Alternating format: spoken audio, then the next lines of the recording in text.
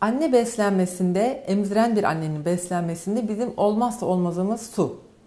Ee, sütün çok olması için yapılması gereken e, yegane şey aslında günde 2,5-3 litre su tüketmek. Ee, bu en önemli faktör.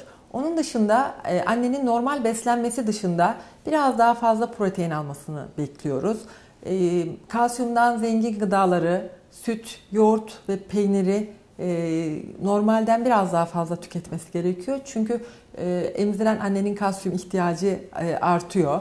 Her gün bir adet yumurta, e, yine e, en az bir porsiyon etli sebze ya da etli kuru baklagil yemesi gerekiyor.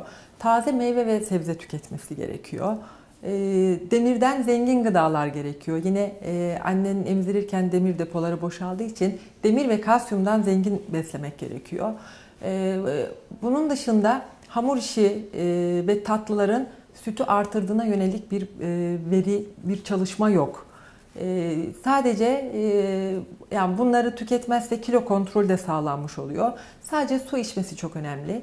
E, stresten ve yorgunluktan uzak durması önemli. Sütün e, kalitesini çok belirleyen bir şey değil ama sütün miktarını belirleyen şeyler bunlar.